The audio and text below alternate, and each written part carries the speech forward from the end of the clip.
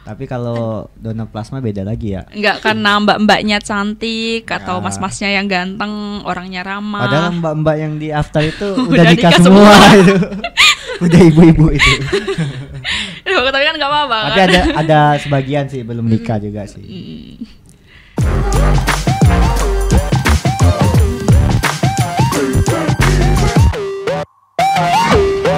Halo, selamat datang di Japri PMI Solo, jagongan penting bareng PMI Solo.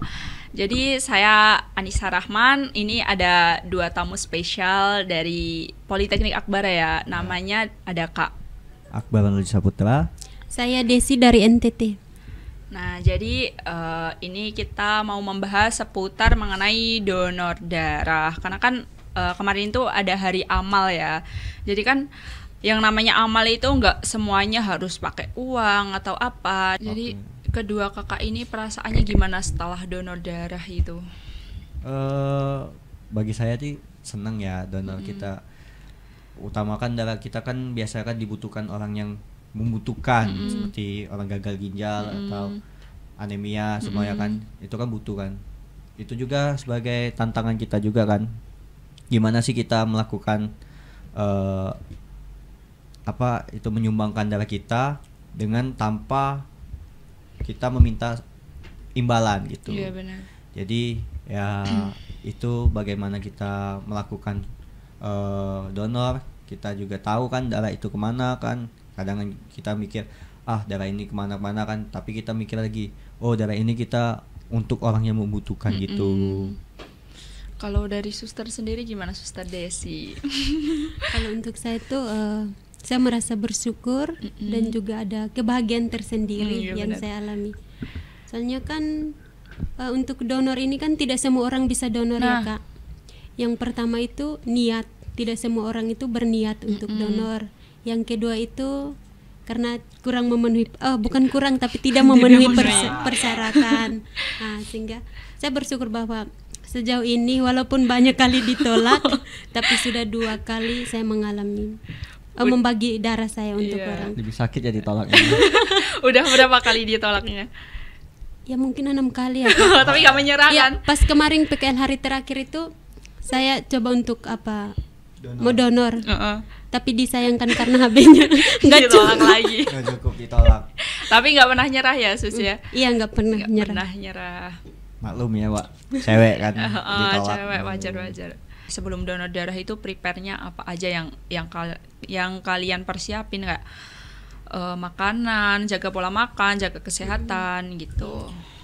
tips ya sebelum seminggu sebelum kita donor itu minimal ya konsumsi namanya kacang-kacangan sayur-sayuran buah-buahan atau daging merah gitu agar HB sama stamina kita itu kuat. dan juga HB kita terjangkau. Jadi kan minimal HB itu kan penerimaan 12,5 sampai 17 nah kalau kita konsumsi makanan-makanan gitu jadi pola HB kita teratur gitu. Jadi kan aku tuh sering lihat ke Akbar tuh makan mie instan ya. Jadi kan ke Akbar ini makan mie instan, tapi donor darah tuh nggak pernah ditolak gitu. Kan keren banget kan itu kayak sebuah keberuntungan nggak sih buat Kak Akbar? karena saya walaupun makannya kayak gitu tapi minumnya tetap minum air Oh. putih gitu Sus boleh dicontoh. Kan suster Desi Berarti ini kan dicontoh. nah tapi kalau kalau cewek kayaknya gimana ya soalnya kan datang bulan jadi kan darahnya kan keluar Naik juga turun. naik turun gitu. Fasenya kan juga kan uh, cewek cewek kan nggak bisa ngontrol namanya emosi kan. Heeh, jadi bener. tensinya naik HB-nya turun. Ya juga kan pola tidur cewek kan suka begadang ya Mm-mm. kadang Tapi cewek nggak- kan sering overthinking Iya. kan. nah. Tapi nggak semua ya. oh, suster nggak pernah overthinking. Bukan, nggak semua tidur larut Oh. malam ya. Jadi kalau pernah overthinking. kalau pola tidurnya nggak teratur juga percuma juga sih kalau makannya sehat gitu. Nah, jadi eh, s- Kak Akbar sama Suster ini pernah punya pikiran kayak aku harus nih donor darah terus meskipun sering ditolak kayak gitu aku harus donor darah gitu nggak sih? Ada. Ada. Ada kak. Eh, Sehingga walaupun apa selalu gagal tapi selalu datang. itu Ada waktunya harus Dan datang. kan, kan di chat oleh PMI juga kan waktunya donor. tapi kenapa sih kayak meskipun aku ditolak tapi aku pengennya tuh donor terus gitu kenapa kayak walaupun nanti tahu endingnya bakal ditolak tuh kayak nggak bakal nyerah gitu loh sus kita kan sesama cewek aku juga pernah ditolak sih ya pastinya ditolak donor maksudnya nah kayak gitu kan pasti kayak udah ditolak tapi nggak mau nyerah gitu loh apa sih yang bikin nggak mau nyerah gitu Niat membantu mungkin ya. Iya itu termasuk Oh. niat membantu terus apa? Kan untuk donor darah itu kan sehat juga ya, Mm-mm. Eh, menguntungkan apa? eh, si penerima atau yang transfusi dan juga menguntungkan bagi kita pendonor. Iya, benar. Bahwa kita mendonor itu kan ada tubuh kita kan terus mengum, apa mengkonsumsi darah baru. Mm-mm. Jadi tapi tidak mungkin eh, tidak memungkinkan darah kita yang kasih ke pasien itu tidak selamanya itu darah kotor ya. Nah. Itu darah sehat juga. Iya, iya benar.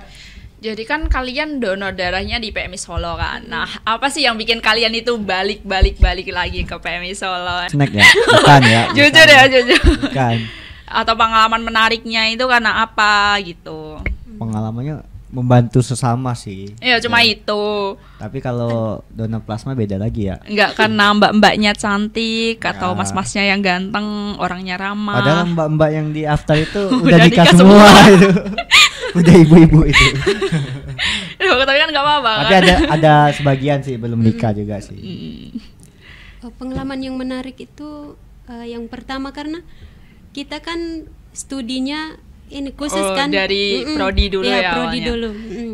Kita kan eh, prodinya untuk transfusi darah. Mm-mm. Jadi kalau untuk secara pribadi untuk saya sebelum kita menusuk orang lain perlu kita merasakan dulu. Kita perlu merasakan sakitnya itu seperti apa. Oh itu pas kita praktek ya. Iya. Jadi kita perlu merasakan biar saat eh, kita menusuk orang lain itu Bagaimana? kita juga eh, menusuknya dengan perasaannya kak, tidak harus kasar. Meskipun takut tapi harus nyoba Iya, dulu harus ya. coba dulu. benar-benar. Jadi kita harus coba sebelum kita eh, melakukan ke orang lain. Padahal Hmm. kita praktek seminggu itu udah berapa kali tuh ditusuk itu. itu kalau ditusuk kayak pas kalian praktikum itu kan ditusuk Iya. itu darahnya juga diambil sekantong sekantong Nggak. gitu. oh Diambil enggak setengah Cuma- itu. Oh, cuma Cuman setengah. masuk yang penting udah tahu venanya Iya. udah, udah keluar udah selesai. Eh, pas Nggak- praktek itu kan hanya dilihat eh, prosesnya kak, Mm-mm. Iya. Ya, proses awal sampai pas Akhirnya. penusukan. Mm-mm. Tuh, jadi kita prakteknya itu. jadi kan kalau sebelum ka- kalian kan ada yang praktikumnya itu kan suntik-suntik itu kan. Nah, kalian itu sebelum di misalnya hari ini kalian itu ada penyuntikan nih dari praktikum, besoknya donor darah gitu bisa. nggak bisa. Oh, nggak bisa. Nggak bisa. Soalnya kan udah Ada bekas- infeksi, ada kena infeksi juga itu. Oh. soalnya. Kalaupun misalnya ganti tangan tetap nggak bisa. Nggak bisa. Oh. Jadi kan kita juga kan di PMI juga kan kalau kita mau donor udah bekas bekam itu nggak boleh. Soalnya kan darahnya udah keluar. Gitu. Gitu. Jadi di PMI Surakarta ini kan ada kalau misalnya kakak-kakak ini Kak Akbar sama Suster Desi mau donor darah itu kan kayak ada ruang tunggu gitu, ada fasilitasnya gitu. Eh, menurut kalian eh, gimana sih? Atau nyaman banget atau bisa kayak nunggu tuh jadi nggak gabut gitu nggak sih? Nyaman sih, soalnya kan fasilitas di PMI Solo ini lengkap. Mm-mm. Kita nunggu ada minum, ada kopi, ada segala macam ada, terus juga wifi ada, Mm-mm. terus juga pas kita donor di administrasi kita di di apa itu namanya tuh diarahin gini-gini, terus kita juga kan pas kita donor fasilitasnya be kayak mewah gitu. Mm-mm. Keren ya. Iya. Jadi orangnya ramah juga nggak sih Iya, menurutnya? ramah, Oh, ramah. ramah. Pernah nggak sih kayak minum kopinya atau minum apa itu sirup Pernah, gitu? pernah, Pernah, kalau waktu PKL itu pengalaman shift malam Ya. kak. sering minum, sering, Sering ambil. minum. Oh, jadi itu boleh buat umum. Boleh itu. Oh, Nggak boleh. donor juga nggak apa-apa. Itu kan untuk nunggu. Aku udah di sini udah berminggu-minggu tapi nggak pernah ngambil di sana kayak "Ih, itu aku kira itu cuma buat pendonor aja Nggak. gitu harus yang lolos donor aku kira cuma itu Nggak. jadi buat penunggu boleh Buat ya nunggu boleh. Hmm, untuk Asalkan nggak ngambil snack donornya itu ya. kalau snack donor wajib, Wajib donor. donor. Iya, wajib donor. Iya iya. Petugas juga ndak ambil itu Mm-mm. snacknya. Terus nyaman nggak sih gitu? Nyamannya tuh karena apa gitu? Hmm, kalau nyamannya itu yang pertama ya karena orang-orangnya ramah juga ya di PMI Solo sini. lalu yang kedua itu karena kelengkapan dari fasilitas juga Mm-mm. lalu eh, apa komunikasi membangun Mm-mm. cara membangun komunikasi yang baik dengan Pendonor. para pendonor Tapi enaknya sih di sini PKL-nya kita disamaratakan kayak eh, kita itu bukan anak anak kemarin anak Iya, magang iya. bukan. Tapi kita Jadi dianggap karyawan. udah, oh. jadi kita dipakai just lab dari sini just just lab karyawan kan. Jadi seakan-akan orang Udah. pendonor itu nanya karyawan baru ya. Padahal kita kan PKL ya jadi kita memanipulasi kayak nggak usah kita jawab dulu. Pas kita udah nusuk baru kita jawab. Iya. Anak PKL gitu ya kan. Kalau kita jawab anak PKL otomatis yang donor itu ragu ya. ragu. Iya, aku aja ragu Ah, loh. ragu. padahal pas sudah masuk oh kaget ya kalau anak PKL gitu Jadi kan ada sekarang itu ada rumah sakit yang bisa buat donor darah gitu kan. Ada kayak kalau di sini kan aftab gitu kan. Nah, itu ada nih sekarang rumah sakit yang bisa donor darah. Jadi nggak nggak nggak ke PMI lagi gitu. Kenapa kakak-kakak ini lebih milih donor darah di PMI nggak ke rumah sakit aja gitu. Soal gini, kalau kita donor di rumah sakit itu donornya donor keluarga kayak misalnya stok di PMI nggak ada, mereka di rumah sakit gitu. Sedangkan di PMI ini mereka menyetok darah untuk kebutuhan yang untuk orang membutuhkan gitu. Sedangkan kalau di rumah sakit itu dia nggak nyetok, jadi kayak ganti kayak apa itu namanya tuh kayak transfusi ganti gitu ya.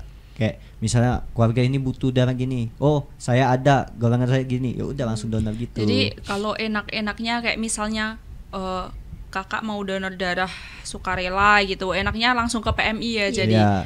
oh jadi lebih ke oh ini darahnya bisa buat siapa aja, Iya. nggak diteruntukkan buat keluarga Iya, gitu. gitu. Hmm. Soalnya ka- kalau di PMI lebih asik ya enak orangnya. Nah, terus kan eh, donor darah ini kan ada tiga macam donor darah kan kak. Yang pertama itu kan donor darah keluarga, terus ada donor darah berbayar sama donor darah sukarela. Hmm. Nah, jadi kalau untuk eh, donor darah keluarga itu kayak ada pasien, terus kita cari pendonornya itu dari dari keluarga. Keluarganya. Ah, ah.